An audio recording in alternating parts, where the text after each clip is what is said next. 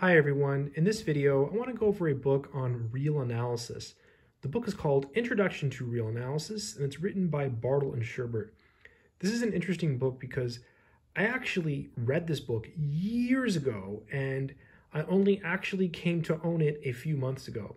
You see, I thought this book was awesome when I was an undergrad. I used it to help me study when I was taking advanced calculus. Then I forgot the name of the book and it wasn't until someone left a comment that I thought, oh, wait a minute, that was that book that I liked so much as an undergrad. Yes, it's the Bartle and Sherbert book. Let's take a look inside this awesome Introduction to Real Analysis by Bartle and Sherbert, University of Illinois, Urbana-Champaign. That's a really, really good school. 1982, that was a long time ago. So this must be uh, an older edition of the book. So this is the table of contents. And one of the things that makes this book different from several other books is that it treats real analysis in one variable. So it's only single variable analysis. So it starts with some set theory, then it goes on to the real numbers, then it talks about sequences. So this is a very typical order. So if you take a real analysis class, this book will probably follow like the same order that you're following in your class. So it'll probably help you in your class and then limits and continuity. Then we have some more stuff here on continuity, compact sets, differentiation, the Riemann integral, and then it finishes with sequences of functions and infinite series. And we have some references, hints, and an index. So it's all analysis in one variable, which is not really great, but it's also good. I think the authors did this on purpose in order to make it like more readable, right? So you just focus on one variable in this book. This is the section on functions. And the examples are pretty well laid out. Um, the author does a good job of explaining everything in a nice, clear fashion. Um, I think it's pretty good in terms of readability. These are the exercises for section 2.4, which is on the completeness property of the real numbers. And they're pretty good. Like, they're not too difficult and they're not too hard. There's a good variety, I guess is what I'm saying. So you see some of them are circled. I have not done those. Those are just circled. This is a used book. And you see there's tons of problems. I mean, it's just ridiculous how many problems. Wow, look at that. It keeps going, it keeps going, more and more and more. So 26 problems, that is a lot. Let's look in the back of the book to see how many actually have answers. Okay, this is the back of the book, so 2.4. We see that some of the answers seem to be like partial proofs or some pretty big hints. Let me turn the page because I think there are more. Yep, there are more there. So you see the authors do do a good job of trying to help out when they can. Unfortunately, there are not answers for every problem, but that's pretty much unheard of, right? An analysis book that has answers to every problem. It's just not going to happen, or it's very, very unlikely. This is chapter six on the Riemann integral. This is a pretty good chapter. I have read portions of this many, many years ago uh, when I was taking advanced calculus. We used the book by Fitzpatrick. And I felt that the explanations in this book were a little bit more clear for me at the time. Now, looking back, um, I really like the Fitz, Fitzpatrick book, and I think it's a great book. And I'm not sure I can say this one is better. I kind of put them as, as equals.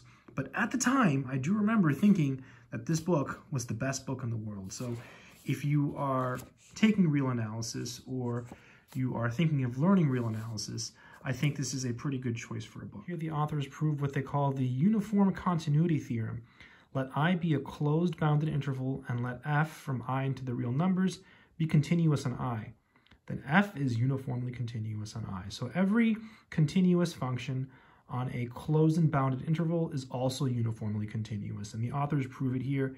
And they give a very, very nice proof that's what I think I liked about this book um, that made it so special to me when I was taking advanced calculus is that the clarity in this book is really good. It was really good for me as a beginner at the time. So how does this book feel in your hands? So it's not a very thick book, but it's a little bit thick. It's just like a little thick and it's the right size. It's got the gold cover, you know, the gold letters. Um, really, really nice book, um, really good quality. I am not sure uh, if the newer editions uh, are the same color or if they look the same. And the pages feel okay. I wouldn't say um, they're superb quality, but it's not like really bad quality either. So just your average uh, quality math. This is the chapter on infinite series. And so if you've had Calculus 2, this is kind of like a breath of fresh air. Here we have the test for convergence. So you see you have, you know, the comparison test, the limit comparison test, which is really nice. Uh, a lot of analysis books don't include the limit comparison test. For example, I believe the book by Buck does not include the limit comparison test because I remember uh, trying to do a problem and trying to use it and I couldn't. So it's nice that it's included in this book. Then we have the root and ratio we tests. also include the integral test. And I believe there's the alternating series test as well. Yep, there it is, alternating series test. And I think that's it. And plenty of exercises. Look at all of those problems. Again, the authors do a really good job of giving the reader lots of opportunity to practice what you've learned. Another really great thing about this book is that it actually lays flat. So you see I have it laid flat here on the table, and so you can take a piece of paper and you can actually work from it. Um, that's what I don't like about soft covers. A lot of times, um, a lot of like the smaller soft cover books, um, when you lay them flat, they just, they close. But this one, it's the right size and it lays flat. Here the authors actually talk about Newton's method. So if you've had Calculus 1, then you've probably seen Newton's method. So it's pretty cool that they decided to include it in their book here. Um, they go through, you know, the derivation, they give some information here on the method, and then they give you a picture. This is the picture that I would typically draw in my calculus class when explaining Newton's method. So really, really nice technique, really nice um, application of calculus. So really, really nice stuff. Here's some pictures which are included, which is nice. You see you have the lower sums, and you can see that the lower sums are an under approximation for the area under a curve. Then over here on the next page, we have the upper sum, and we see that the areas of the rectangles from the upper sum are an over approximation of the area under a curve. So really nice pictures to help explain, you know, what's going on. And if you've had Calculus 1, you've probably seen these pictures in your book. So it's nice that you see all of those Calc 1 topics in here again. I mean, it even talks about L'Hopital's rule, which is something that most Calc students have seen. So you see that familiarity again in this book.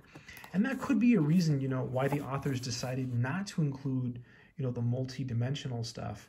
Because they thought, okay, if someone's had Calc 1 and 2 and maybe a little bit of Calc 3, they're more familiar, you know, with the Calc 1, Calc 2 stuff. So let's focus on analysis for one variable and then later on in another course treat it, you know, in more than one variable. Whether that's a good idea or not, I think is a matter of opinion. But I think the authors do a really good job with a one variable treatment. So what is the con of this book? Well, I think the biggest con is that it doesn't have, you know, multivariable analysis. At the same time, you can't really say it's a con. Just because the book doesn't have it doesn't make it a bad book, right? This is still a pretty good analysis book but it's still an analysis book. So it's still going to take a lot of work to read and work through. Um, you know, real analysis is a hard subject. So I think this is a book that is good for anyone who wants to learn analysis and needs another resource. Honestly, I think anyone who's trying to learn analysis should have as many resources and as many books as possible.